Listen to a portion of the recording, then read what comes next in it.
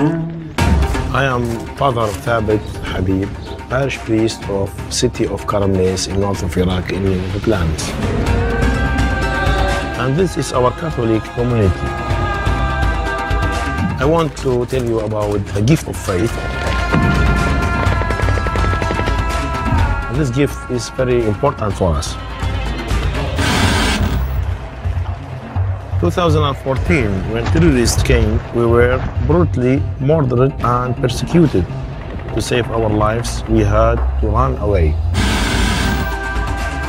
When the war ended, we had nowhere to return.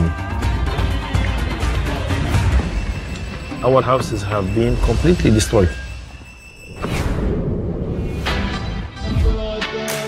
But thank God, what the terrorists did not manage to destroy it was our faith. Thanks to this and your help, we could return to our land and begin to rebuild our homes. After two years of hard work, we are slowly getting back to normality. For us, it's not just buildings, it's our identity, culture, and memories. Places in which we feel safe as Catholics. We managed to rebuild even the Catholic Center of St. Joseph.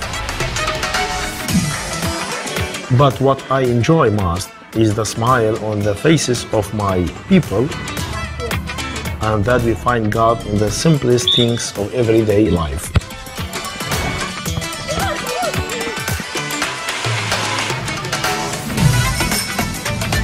Please make the gift of the faith with the ACN and stand with the suffering church around the world. May the love of Jesus surround you. Bless. In Aramaic, Maryam Barak